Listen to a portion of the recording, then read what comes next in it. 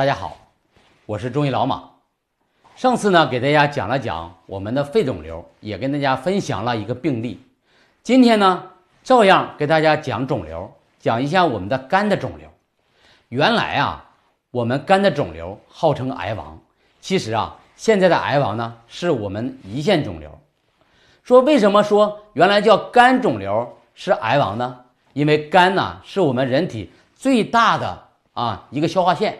它所起到的作用呢，就是人体的解毒功能。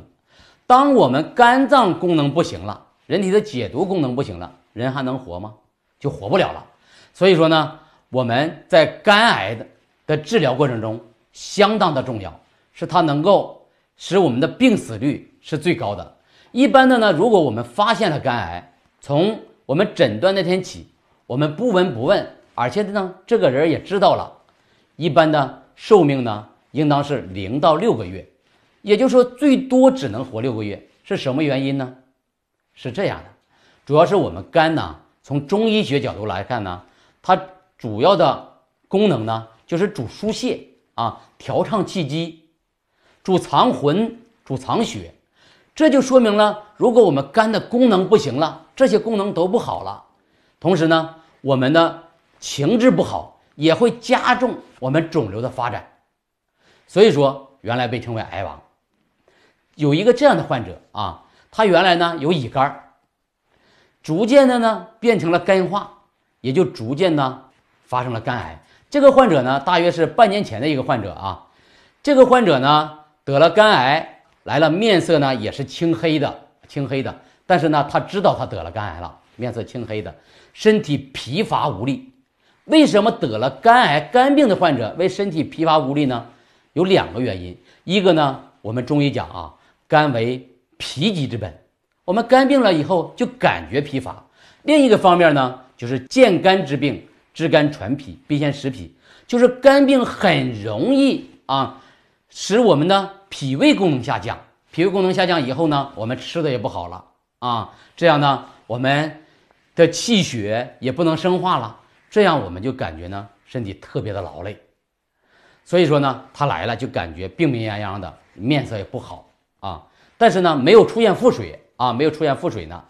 然后呢，就给我介绍，他说呀，他是十年前发现的肝炎，肝炎呢，大约呢三年前发现呢肝硬化了。完肝硬化呢，他可能也没怎么注意，说在大约半年前啊诊断出了肝癌了。是怎样诊断出肝癌呢？他就感觉啊，他右胁肋部呢疼痛，而晚上疼痛呢还加重，高手使劲压压呢，好像还能减轻点他就去做个彩超，彩超打出单子来一看，一个呢大约是二点五乘以三点二左右的一个肿瘤了。然后医院一看你这么大肿瘤了，说手术吧。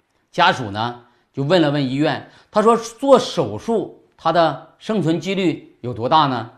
啊，那个医院说呀，如果做手术呢，生存几率呢不能保证。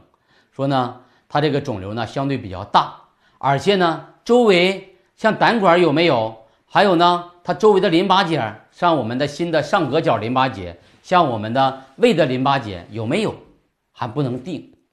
但是呢，他就没有做手术，直接来了。那我就给他出了一个方案。第一个方案呢，就是用中医的方法来配合化疗药多吉美。多吉美啊，是我们肝细胞肝癌的一个特别有效的啊靶向药。我说你配上多吉美，同时呢配上中药。中药用什么方法来治呢？是第一个啊，就是呢软肝散结。第二个呢，一定要配上活血化瘀的。第三个，一定要配上。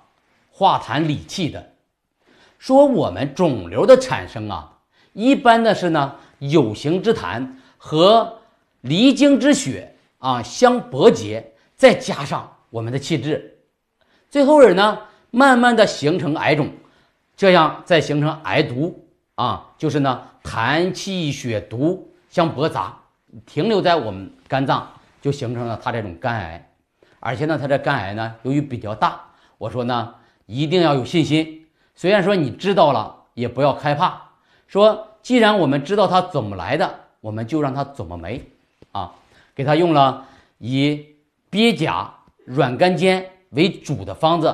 啊，你像鳖甲呀，那个牡蛎呀，还有呢一些像我们的柴胡啊、白芍啊，还有枳实啊这类的药啊，疏肝的，加点香附，加点川芎、活血的桃仁、赤芍，同时呢加入抗肿瘤的。在我们抗肝肿瘤的呢，你像我们的石上柏，像我们的八月渣，像我们的山慈菇，这是必用的啊。同时，牡蛎呢也有软肝散结，像我们的鳖甲，这都必须用的。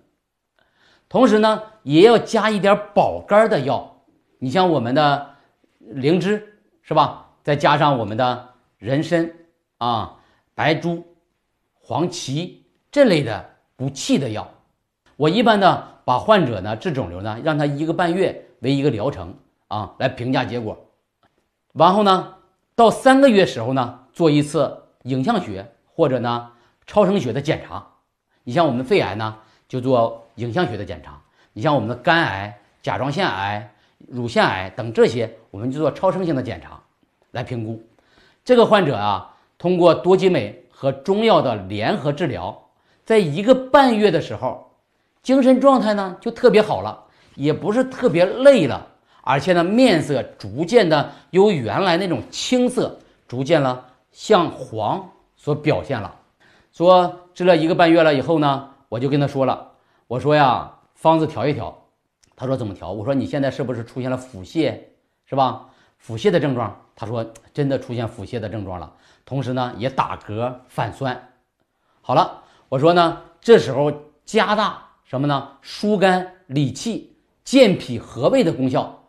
用六君子汤，就是呢，参苓猪草，再加点半夏，加点陈皮，同时呢，再加点呢疏肝理气的柴胡等等，把原来软肝散结的药，像我们的牡蛎啊、鳖甲呀，像八月渣、三刺菇，还有石上柏这类的药，重新再给加上。我说这时候你是不是感觉有点发热？嗯，同时呢，我得给你加点两味呢，呃，清热解毒的了，加上白花蛇舌草和半枝莲，就是这些药。我说你呢，我们的多吉美还是根据疗程服用，我们服用三个月的时候看效果。同时呢，到第三个月了，去做了超声检查，它的肿瘤已经缩小了，由原来的二点五乘以三点二变为呢一点五。啊，乘以二点七了，非常高兴啊，非常高兴。说呢，情志舒畅了。我说你就按这个方法治疗吧。我说呢，不同的辩证啊，不同的辩证，根据不同的症状，我们来调整我们的中药方剂。而我们这个多吉美呢，要吃到六个月左右，一定要吃到六个月左右。这不半年了吗？半年了，这近两天来了，近两天来了。说做了一下我们的彩超，说这就是经过四个疗程，一个半月一个疗程，四个疗程，多吉美，我说你也不用吃了啊。做完了，一我来一看呢，肿瘤呢基本上剩一个手指甲盖那么大的，也就是我们中指的指甲盖，也就是零点八乘一个零点五左右了。我说非常好，我说多吉美不用了，就用中医的软坚散结、疏肝理脾。同时，这时候应当加点滋肝肾滋阴的药，你像女贞子啊、旱莲草啊、枸杞子啊，同时也得加点清肝火的。说久瘀必有火，久瘀必伤阴。再加点呢，你像我说不用加别的，加一味栀子，再加一味呢我们的菊花就可以了。我说你回去吧，非常高兴走了，身体的脸色呢也变得红润了。而且疼痛呢也没有了，原来的肝硬化也得到了缓解，原来的纤维肝就说那个做彩超的时候呢，那种斑驳起那个表面也变得圆滑了，非常高兴就出去了。这个病例来看出呢，就说中医传承了五千年，他知道你这个病的病因和病机。说肿瘤肝癌的病机是什么？大家想想，就是呢。说血痰，还有呢气相驳杂，淤结到我们肝了。说你这个人肯定老生气，说就爱得肝癌。同时呢，肝炎肝硬化和肝癌也是三步走。所以说呢，我们要注意我们日常的情绪的调畅，我们就很少得肝癌。所以说今天就给大家讲讲这个肝癌，就讲到这儿。